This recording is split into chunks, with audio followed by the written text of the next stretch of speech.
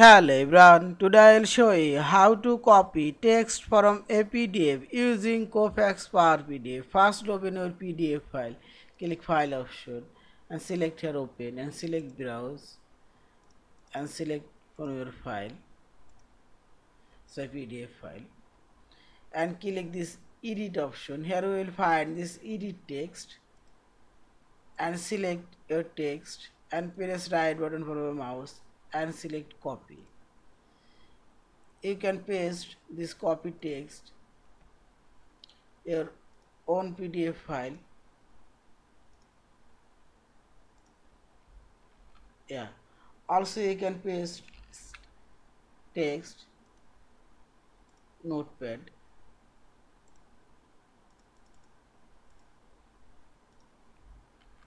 Yeah this is also I'll copy this text. Click edit option. The text.